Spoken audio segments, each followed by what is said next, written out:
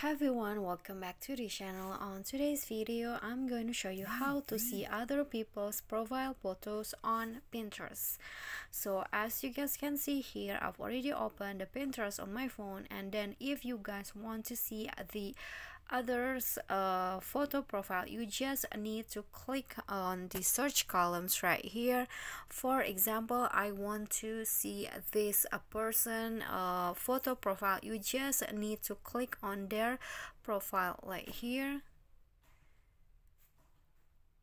uh, I mean their photo and then you just need to click on their username on Pinterest and you'll be directed to their uh, profile page and you see you'll see their profile photos up close like this. And you can also do it again uh, I'm going to open this person for example and click on the username again. And here it is their uh, person uh, photo profile okay so that's all for me. That is how you can see other people's uh, photo uh, profile photos on pinterest. I hope this video is helpful to you.